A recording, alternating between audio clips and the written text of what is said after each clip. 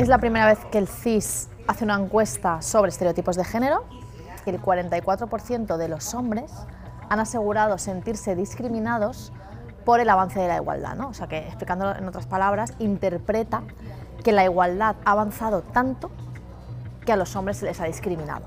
Y resulta que descubrimos que son los jóvenes de 16 a 24 años los que más se sienten así. ¿no? Hay una cuestión que yo creo que obviamos siempre y es que nos parece que el feminismo es inherente a, nacer biológicamente mujer o a ser mujer eh, y el machismo es inherente al hombre y eso no es así. La educación y la socialización eh, en este país como en cualquier lugar del mundo funciona igual para todos.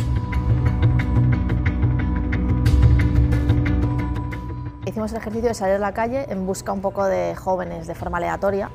Hubo varios de ellos que nos dijeron que en España los hombres no tienen presunción de inocencia. Y luego hay una cuestión de choque generacional eh, que expertos y expertas avisaron hace años de que en un mundo en el que cada vez hay más niñas, adolescentes y luego mujeres feministas educadas en y desde el feminismo, ellos viven eh, con ellas, esa misma generación, un poco desubicados porque esa educación se, les ha trasladado a ellas, pero no tanto a ellos.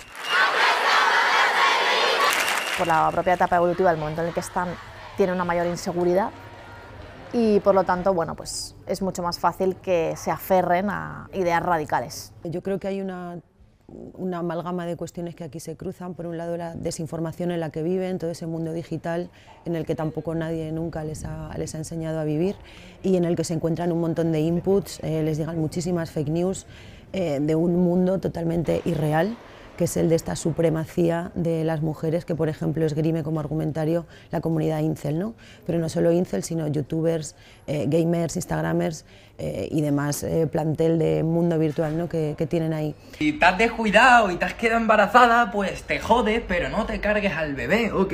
¿Qué ha pasado todo esto? Ha pasado porque se lo he dicho a una mujer. Os lo juro.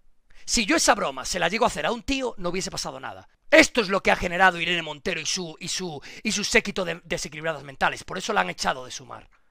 Yo si fuera el novio de esta tía, le daba una paliza. O sea, el bitch slap y cortar con ella no se, no se lo salva. Me gustaría citar a David Bueno, que es un, un, genetista de referencia de la Universidad de Barcelona. Él decía, en España todavía hay instaurada una sociedad muy patriarcal y en muchas familias los roles de género están muy marcados.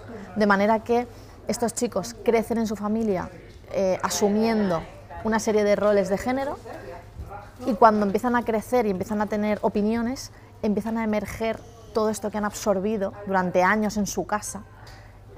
Empieza a salir, pero incluso de forma inconsciente. O sea, estos chavales no saben que han absorbido esos roles. Y no podemos presumir que, que por el hecho solo de crecer y de cumplir años, estos eh, roles de género interiorizados van a tener un, menor peso. Una de las politólogas con las que hablamos nos dijo que, bueno, al final aquí lo que sucede es que surgen figuras como muy reaccionarias, Santiago Abascal, que lo que hacen es eh, aprovecharse un poco de esos hombres que se sienten inseguros frente al feminismo, que no acaban de encontrar su sitio. Nosotros pensamos que el feminismo supremacista es un problema para muchas mujeres, que ese feminismo no representa a las mujeres, igual que los lobbies LGTB no representan a los homosexuales, y, quiero decir que a Vox le votan muchas mujeres y muchas personas homosexuales que se identifican con ese tipo de planteamientos. En cualquier caso, en cualquier movimiento hacia adelante siempre va a haber una reacción y va a haber aparentemente pasos atrás, ¿no?